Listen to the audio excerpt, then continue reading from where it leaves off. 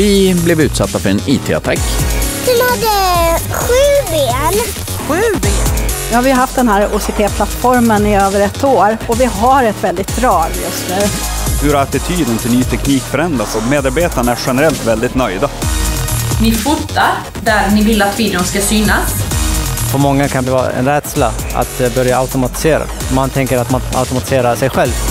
Som frågade mig, hur kan man bygga artificial intelligence som jag vet är godvillig? Det kan du liksom inte, men du kan se till att när du utvecklar den så har du de rätta värderingarna.